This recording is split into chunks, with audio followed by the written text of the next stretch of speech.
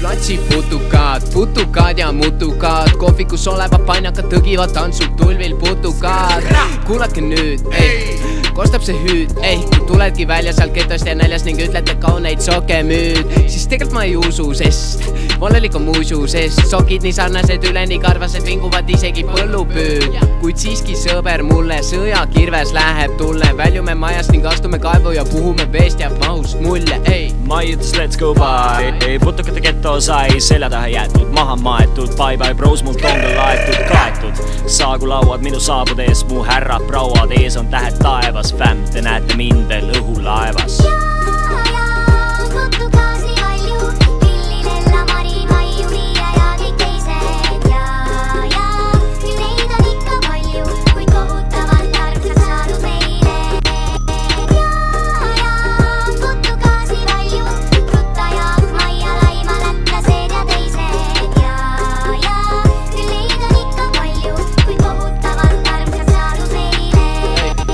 õhulaevas. putukad on väiksed, kuid ka neile paistab päike, uuristavad käike, hirmuks on äike, neid lõbuks on vaja ja on head koristajad.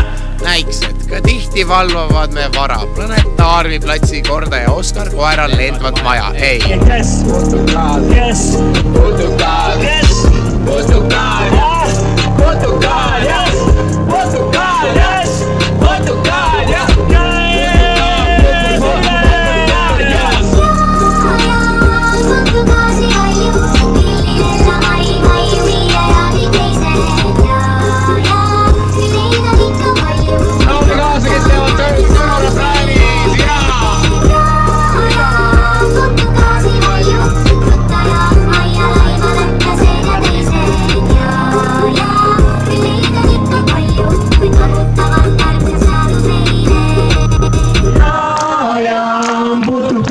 palju, millele Mari, Maiu, Miia ja kõik teised ja, ja küll neid on ikka palju, kui kohutavalt armsaks saanud neile.